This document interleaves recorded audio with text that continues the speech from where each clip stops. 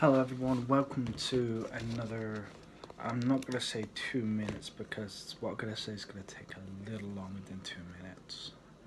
Maybe a little crazy, maybe a little silly, probably a lot of blabbering, but this is a very unfortunate topic that is my vlog. Today, the comic and film world have lost a legend. Stan Lee passed away today at the age of 95.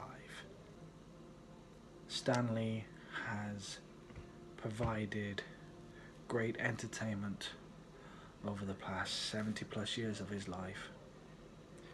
He is the man behind the Marvel name. When I heard this this evening when I got home, it hurts. I was fortunate enough to briefly see him 2014 at the London Film Comic Convention for Showmasters whilst I was working alongside Impact Wrestling. At a press pass with my brother, where he managed to jump the queue that was tailing around the building. I lined up, picked the 8x10 I wanted got the authentication sticker.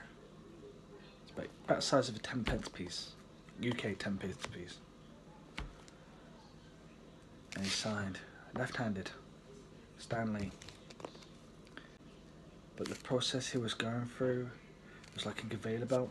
It was just sign, next bit paper, sign, next comic, sign, next picture, sign, moving on. And he didn't look up once. Even though I jumped the queue, there was like the gold members who purchased like tons of money to get like to see Stan Lee before anybody else. And everybody was just you're not allowed to touch him because they're afraid that if you shake his hand, you'll break his hand or you'll bruise him so he won't be able to sign, etc. And it's conveyor system, just uh, sign after sign after sign. And nobody was saying anything to him and I thought, sorry, I'm going to have to say something. And I said, thank you, sir. I said, thank you, sir.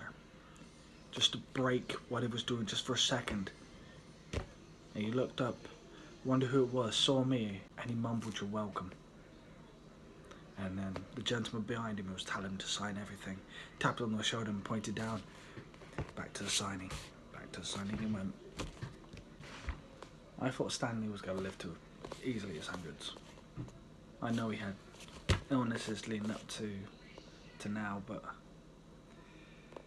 I really wanted him to lift Thor's Hammer in the scene where he's cleaning up, like one of his many uh, cameos, just for him to pick up the hammer, just to give the table a quick wipe underneath to put it down, and just the, that pop would have been brilliant.